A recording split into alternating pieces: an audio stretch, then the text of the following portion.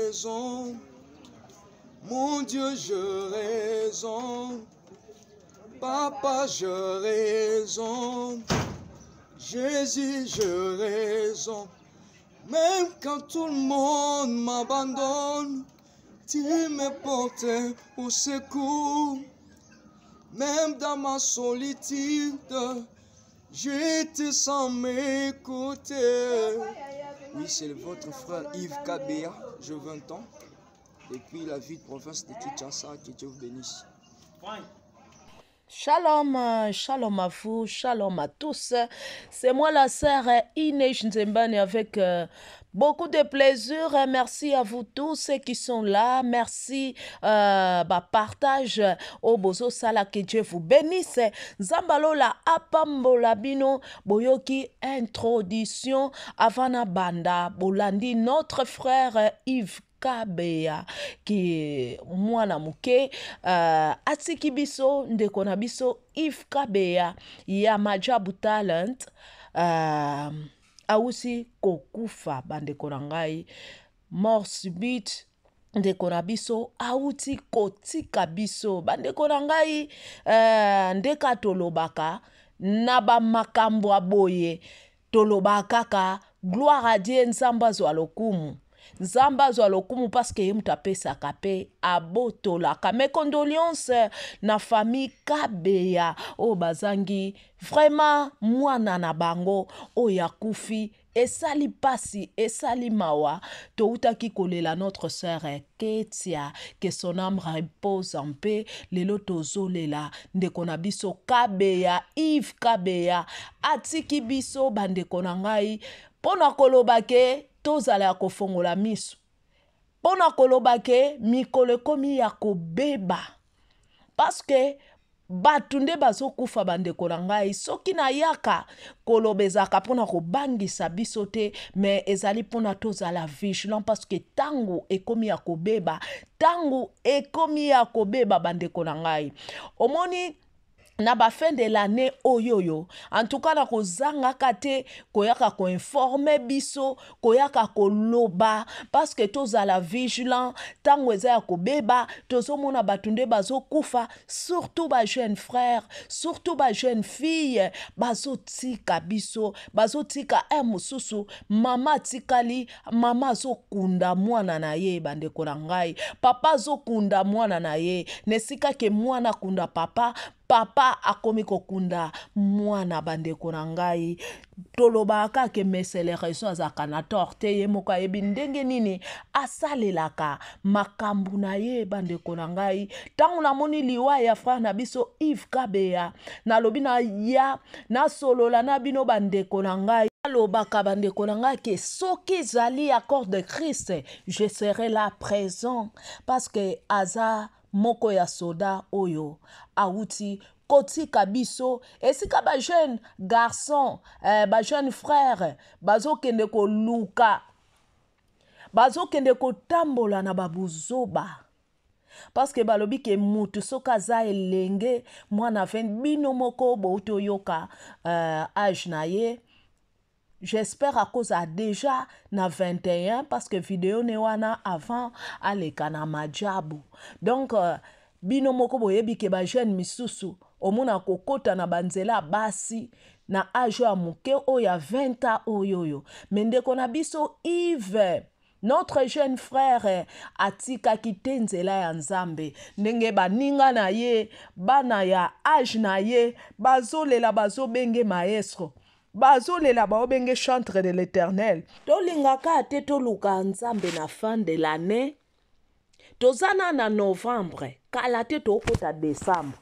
ndeko na nga soki ozozela kaka ke tole nakozela ye le 31 temps na okelala veye banda deja kolukaka nzambe mikolo oyo banda deja kotiaka fami na yo na maboko ya nzambe banda deja kotiaka bana na yo na maboko ya nzambe telemela esprit de mort nyonso ndeko na nga oyo ozolanda ngai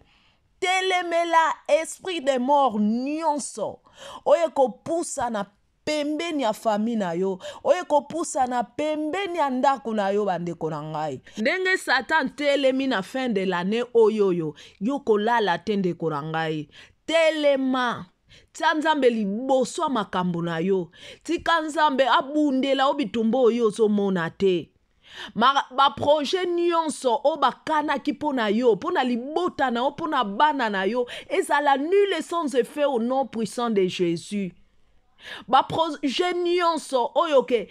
satan prepare mpo alelisa yo ndeko na ngai oyo oh, satan azoprepare bamilimo ya baaksida bamilimo ya bamort subite bandeko na ngai eza ka covid te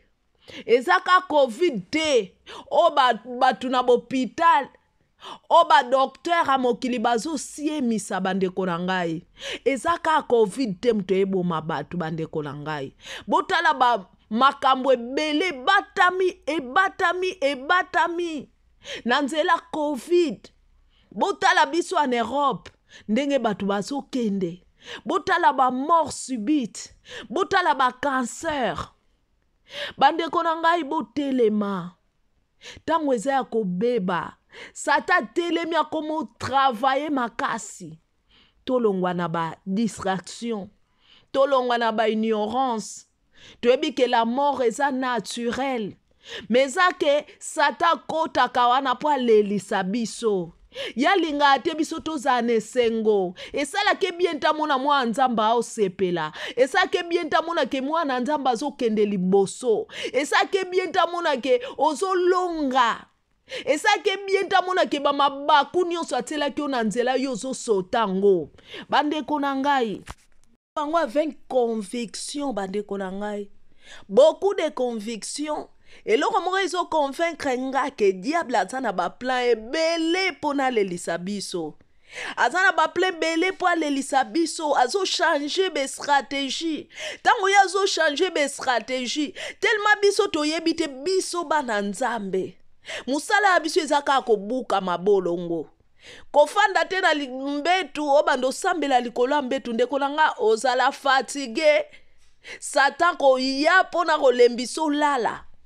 soki olingi osambela obuki mpenza mabolongo nokiti na se otiki na mbeto eh, ozoluka mwa nzambe opusi mwa temps ya prière na yo parce que soki ofandi likolo ya mbetu omona ah nakatala nga deja nalala ah, akoya opesa ba préoccupation lobi mosala hey, eh, lobi fona ketika bana ndeko na nga kita na se mpenza ya mbetu kita na mbetu na nsima obuki mabolongo na yo okomi kolelela nzambe na yo okomi koluka nzambe na yo parceke satan abangaka priere te mabangaka perseverance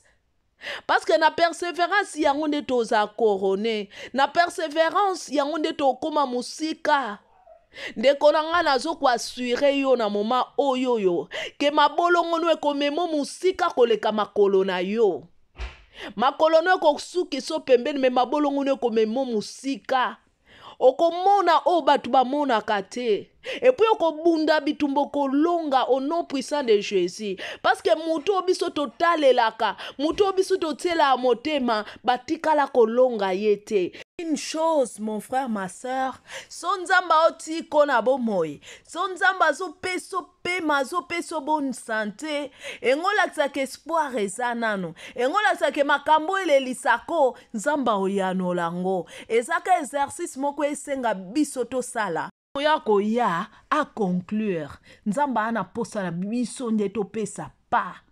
topesa pa ya kobanga ye topesa pa ya koluka ye avec perseverance topesa pa ya kotosa ye bongo nzambe akoya koremplir nyonso oyo oyo ezotikala bandeko na ngai ive kabe ayeyo mwana moke akei atiki biso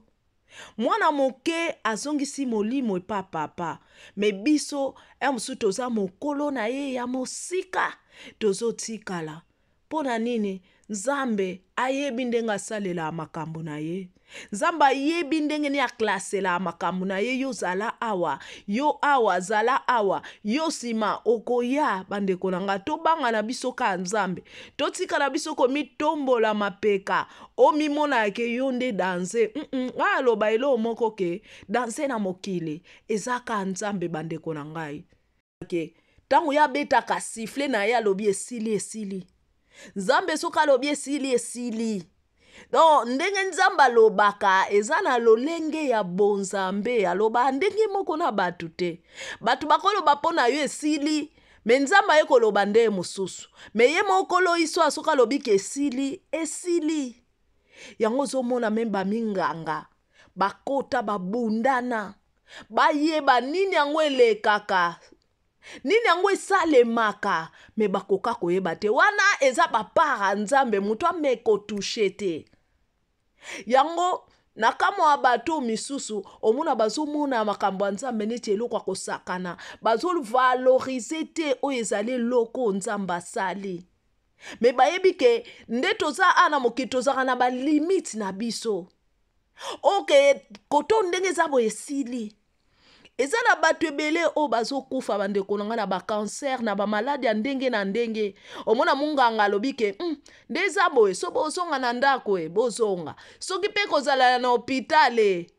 bozala omona moto azobela ntango azobela wana aza na malamu me eza na bata moko omona moto akoti koma azokoka su koloba te baminganga wana mayele esili bango wana soki ekomi para nzambe na nga tokangama na nzambe tokimela pa na ye totambola na ye bandeko na ngai apambola bino nzambe alola abatela mabota na bino nzambe alola abatela bana na biso bazokende na baklasse na batango ya malili donc nzambe abatela bango na batango ya baconvide nzambe alola Atondisa esengo na kati ya motema na bino, na kati ya mitema na bino nyonso oyo uh, bolandi vraiment uh, video oyo oyo abonnez-vous, partagez, commentez. Merci na bino nyonso o bolanda kinga. Merci pour na ba like. Merci pour na ba partage. Que Dieu vous bénisse. Merci na lingi bino mingi.